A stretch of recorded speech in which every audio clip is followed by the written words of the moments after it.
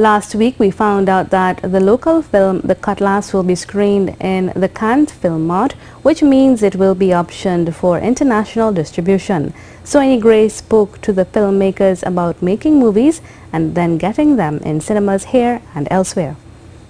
On Monday we told you that the local film The Cutlass was going to be screened at the Cannes Film Mart, which takes place during the famed Cannes Film Festival in France. The Cutlass is a local movie produced by Tennille Nwalo, Darisha Beresford, and Drew Umland. It's a thriller that's based on a true story.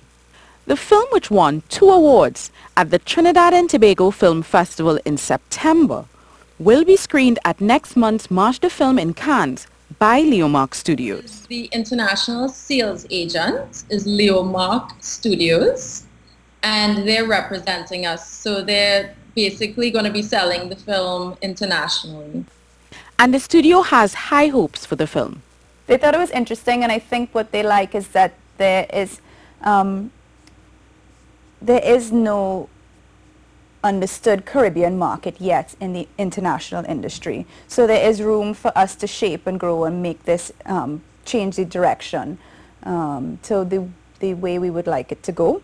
So I think they see the opportunity in building something something good that has, has now started to develop. Um, They've sold the North American rights to another studio, Wild Eye Releasing.